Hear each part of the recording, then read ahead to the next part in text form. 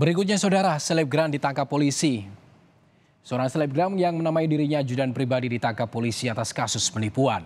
Ia dilaporkan korban sejak November 2022 dengan kerugian mencapai 1,3 miliar rupiah. narkoba 7,5 ton. Sempat dikenal lantaran kerap mengunggah foto dan video bersama orang-orang penting di tanah air, selebgram ajudan pribadi alias Akbar ditangkap polisi. Ia dilaporkan oleh korban sejak November 2022 lalu ke Polres Jakarta Barat atas kasus penipuan dan penggelapan. Jumlah kerugian korban mencapai 1,3 miliar rupiah.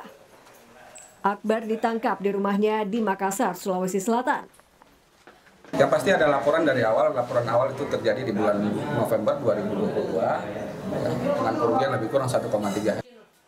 Kini, Akbar alias ajudan pribadi sudah mendekam di penjara untuk menjalani pemeriksaan. Ia harus berurusan dengan polisi dan dijerat pasal 378 KUHP tentang penipuan. Ferdian Syamarlupi, Kompas TV, Jakarta.